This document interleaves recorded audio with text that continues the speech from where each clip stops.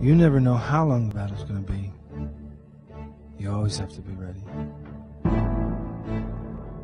And the randori is the main thing of the black belt test. This was a lesson in fear and overcoming your fears. The randori is where the test, that's where the test lies. Basically, in Tiger Sensei's way of thinking, that this is the standard of Shodan, of the black belt. Randori. Randori is a multiple attack, multiple person attack. You sit on one side of the dojo, three guys are facing you, and when he says Hajime, begin, they just run at you full speed and just try to take you down.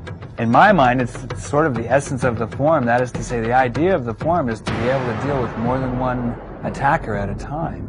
I mean, if you're dealing one on one, and certainly we train, that's how we train, but the idea is to finish your form ready for another attack. That is to say, finish in a balanced position. The reason for that is, I mean, O Sensei was a product of, of sword culture, and sword culture was very seldom one on one. Sword culture was uh, more often more than one attacker against a single opponent. So you have to put your forms together. That is to say, you have to blend with one attack coming at you, uh, neutralize that attack, and then immediately be prepared to deal with the next attacker. Basically, you let go of everything that you think you know. It's it's an exercise in freeing yourself up of thinking about all these things, of thinking about how your your knee hurts or how uh, how this last time this guy clubbed me from the side or or any of that. If you think, it's too late. If you take the time to make a decision, it's too late.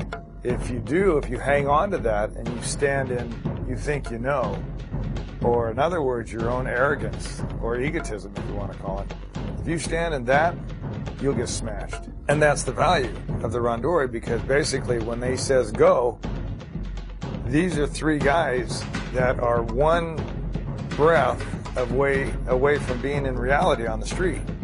I mean, there's been situations I think on the street that I would I wouldn't want I would want rather than this.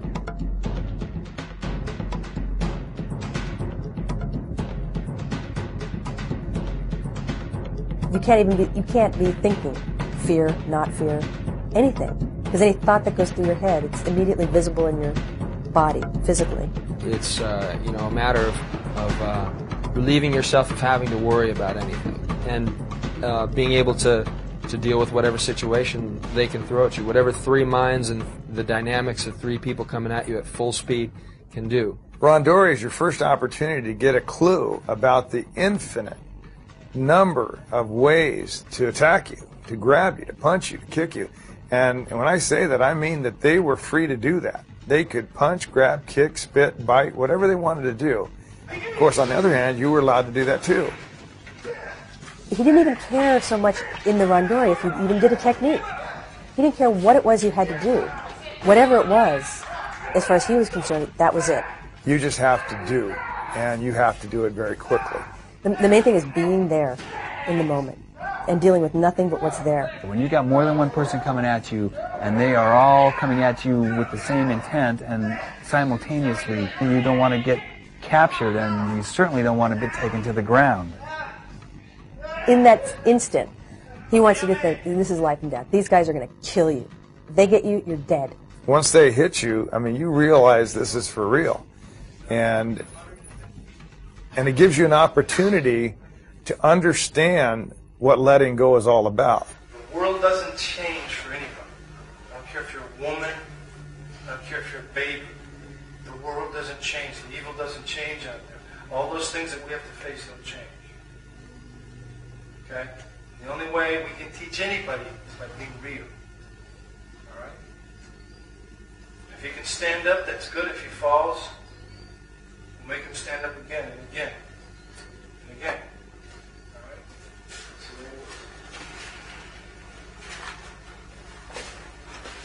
there's no favorites in the dojo. There's no women. There's no men. There's no old people. There's no young people. You come up for Shodan. Everything's the same.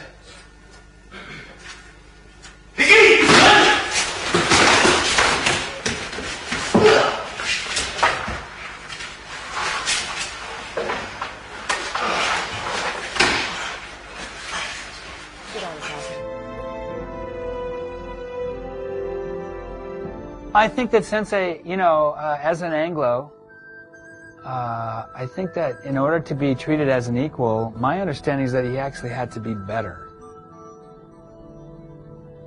Uh, I think that there were people that came in and challenged him. He didn't have to be tough, he just was. You don't get to deal with the man to start with. You got to prove yourself against his students first. I had no idea what he was doing.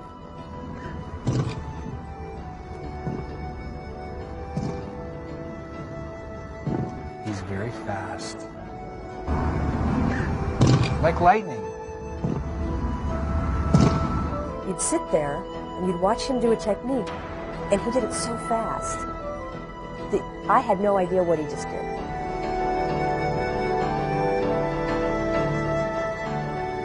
What, what did he do? It was too fast. I couldn't see it. And then he did these great flips and different kinds of falls, and, and then I saw everybody else doing it. and They didn't do it anything like the way he did it.